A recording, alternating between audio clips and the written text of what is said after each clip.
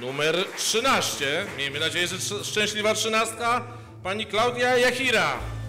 Aktorka, wideoblogerka, satyryczka, lalkarka.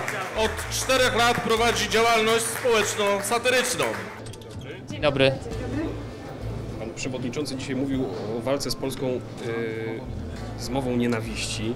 E, Jak pani odnosi się do tych słów, bo jest pani oskarżana, że, że w tej swojej działalności artystycznej używa pani mowy nienawiści. Pani zmieni e, tą swoją działalność, jak zostanie Nie, pani... ja nie używam. Ja komentuję po prostu życie publiczne na tak, na tak jak zasługuje na to e, rządząca partia. Jestem prywatną osobą, startuję, zapraszam na moją stronę na stronę, na profil na Facebooku, gdzie można się zapoznać z moim programem. Uważam, że używam bardzo kulturalnego języka, a to, co się ostatnio dzieje, to jest manipulacja na każdym kroku, ale każdy może mieć swoje opinie. Wszystkiego dobrego Wam życzę. Jestem prywatną osobą, nie zajmuję żadnej publicznej funkcji. Jedno, py- Dziękuję. jedno pytanie, jedno pytanie. Czy, czy będzie się Pani w Sejmie zajmować?